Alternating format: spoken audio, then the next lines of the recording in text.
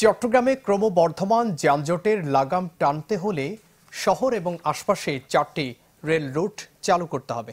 চালু করতে হবে কমিউটার ট্রেন সকালের সংবাদ সম্মেলনে এমন মত তুলে ধরেন নগর বিশেষজ্ঞরা। বলেন, রেল রুট চালু করতে তেমন অর্থেরও প্রয়োজন নেই।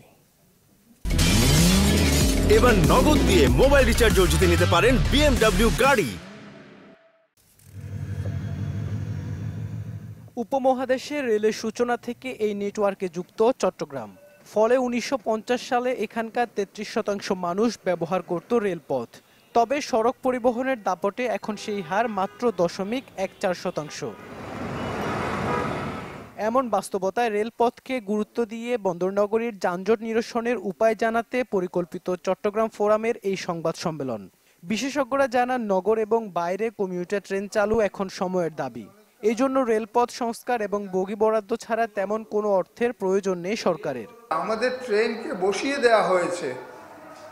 বাস কোম্পানিগুলো ঢাকা চট্টগ্রামের এরা নানাভাবে রেলের কর্তৃপক্ষকে উৎকোচ দিয়ে এদের টাইমিংগুলো নষ্ট করে দিয়েছে। এক্সিস্টিং যে রেল লাইনগুলো আছে সেগুলো সংস্কার করে আর সংস্কার করতে বিশেষ টাকা লাগবে না। এই সমস্ত জায়গার আমার একটি কিলোমিটার স্পিডে চলার কোনো প্রয়োজন নেই।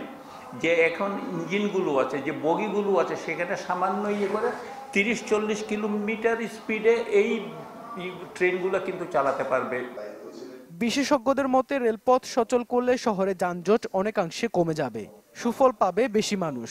এক্ষেত্রে দোহাজারি, নাজিরহাট ও সীতাকুণ্ড ছাড়াও পতেঙ্গা পর্যন্ত রুট চালুর সুপারিশ করেন তারা।